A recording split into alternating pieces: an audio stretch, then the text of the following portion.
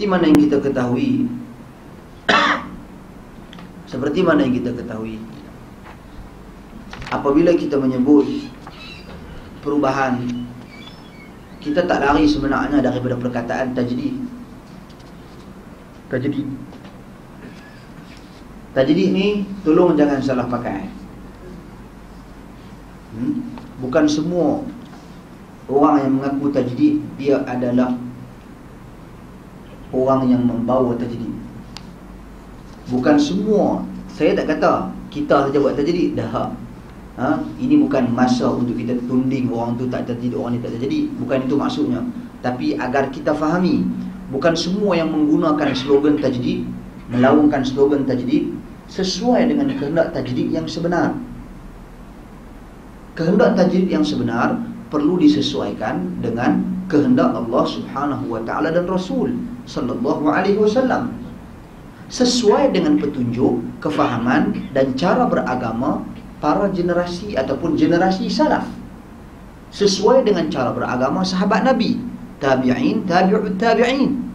Mesti sesuai dengan mereka baru sesuatu itu digelar sebagai tajdid. Sebab tajdid bukan membawa benda baru. Tajdid adalah usaha untuk mengembalikan cara beragama kepada generasi yang awal yang asal yang pada ketika itu tidak ada tokok tambah dalam beragama tidak ada penambahan di dalam beragama. Kesemuanya masih suci masih bersih tak ada campur aduk lolak tak ada. Tak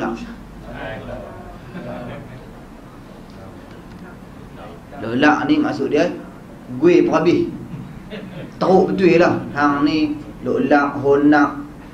Maksudnya lagu tu. Ha. Tak apa betul. Jadi tuan-tuan dan puan sekalian Itu bukan Islam. Jadi tajdid ni telah hadis yang saya yakin kita selalu duduk dengar. Ha, Sesungguhnya Inna Allah yab'athu ala Ataupun fi kulli ra'si uh, Ataupun fi ra'si mi'ati kulli sana.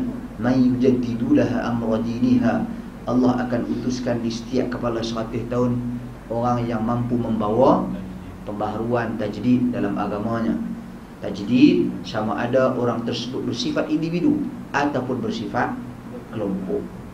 Ha, dan neraca timbangnya bukan kira aku buat tajdid. Tangan tajdid lah dah. Perlu dilihat apa sesuai atau tidak dengan Al-Quran, As-Sunnah, sesuai apa tidak dengan cara beragama sahabat Nabi radhiyallahu anhum ajma'in. Sebab Allah Subhanahu wa taala telah menyatakan di dalam Al-Quran contohnya di sini di sini satu Photostat pun lekat benda ni Saya, saya dah buat takliqat sikit Tanda darah kan ini Surah Al-Baqarah ayat 137 فَإِنْ آمَنُوا بِمِثْلِ مَا آمَنْتُمْ بِهِ فَقَدْ اهْتَدَوْا وَإِنْ تَوَلَّوْا فَإِنَّمَا هُمْ فِي شِقَاقٍ Mana ni? Oh, Abu Akif ada pesan kat saya sesuatu Dia suruh pakai mic ni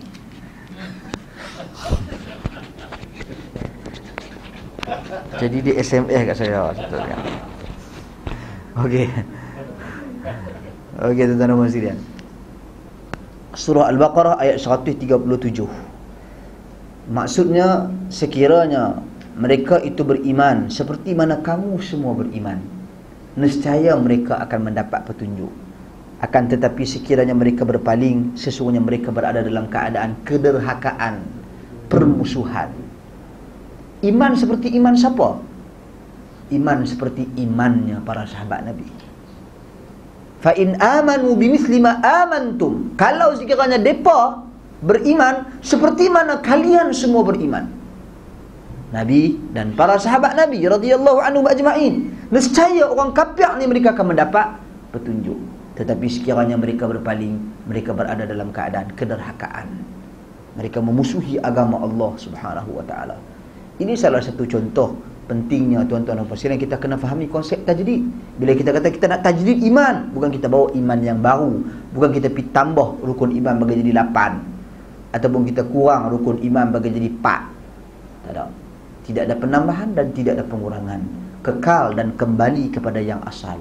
Sebab itu telah dibahaskan berulang kali erti tajdid itu pun dalam bahasa Arab penggunaan tajdid itu pun dia berasal daripada perkataan jaddadal wudu memperbaharui wudu. Yakni bila kita wudu kita berwuduk dengan cara yang baru ke ataupun dengan cara yang sama?